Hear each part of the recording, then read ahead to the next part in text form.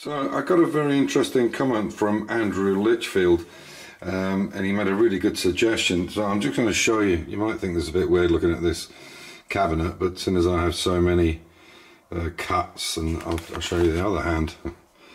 yeah, that was today. My drill decided to pinch my skin and try and wrap it around the chuck.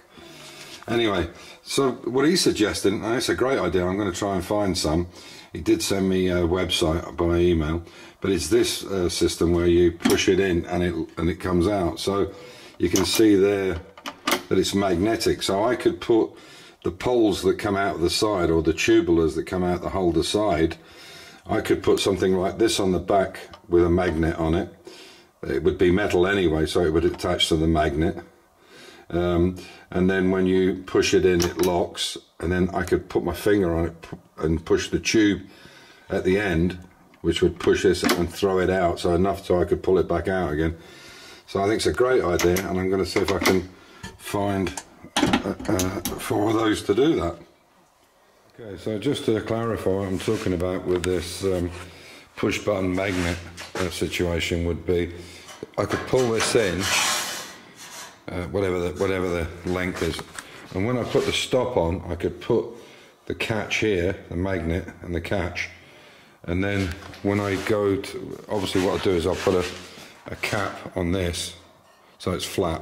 So what I do is, is I put it in there like this, but it'd have the flat end on it. The, the uh, sheet metal would be completely perfectly for that hole.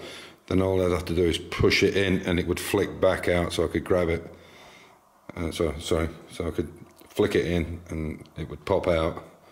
Basically, I would push it in and it would pop out like that, uh, and then I could just pull it out, which I think will work well, and it will um, stop it from coming out as well. Hopefully, the magnet will be strong enough, and with the weight here of the rod, um, I don't I don't think it'll be any problem at all.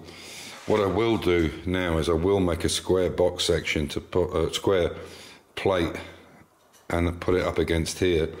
And the reason I'll do that is that will keep it square against here all the time. So it'll, it'll make it move straighter and easier as I pull it in and out. And like I say, we're perfect because there's 120 across here from side to side and these are 60. So we're basically right on the money.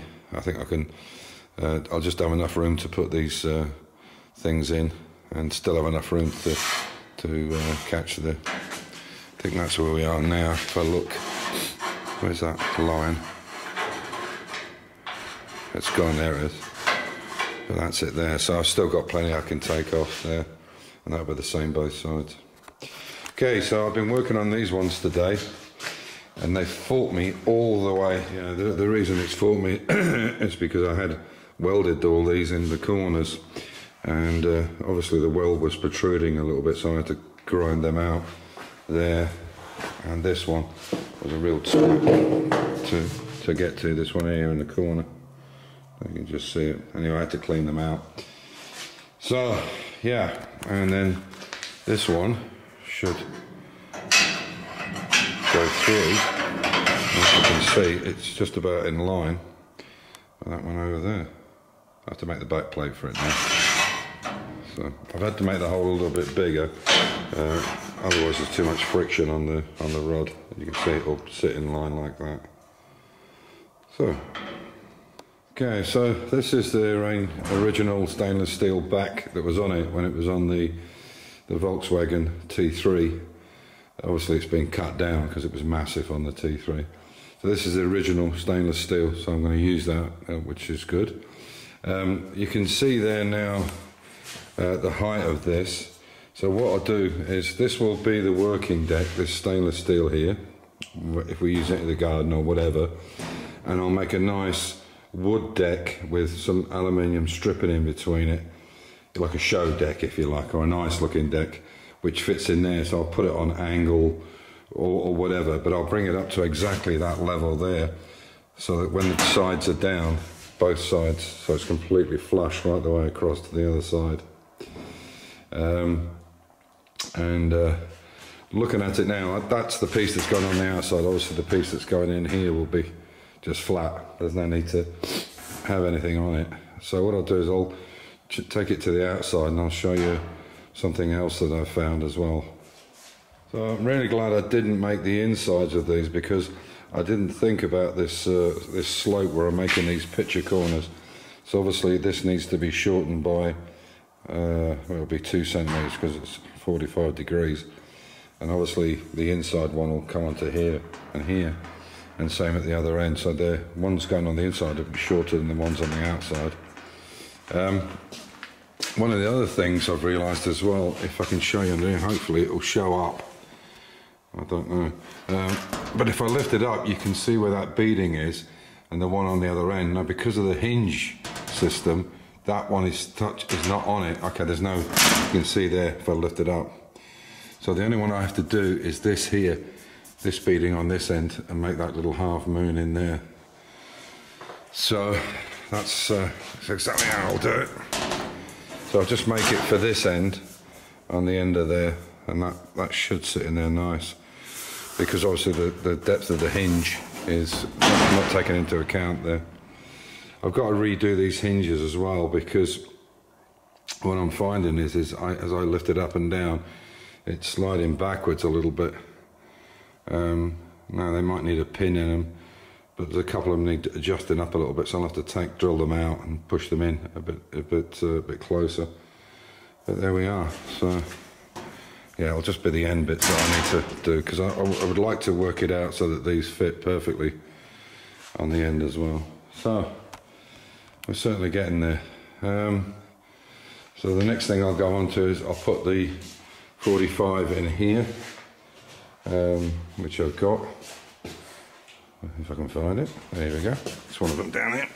I've already pre pre-cut them all, so I'll put this one in.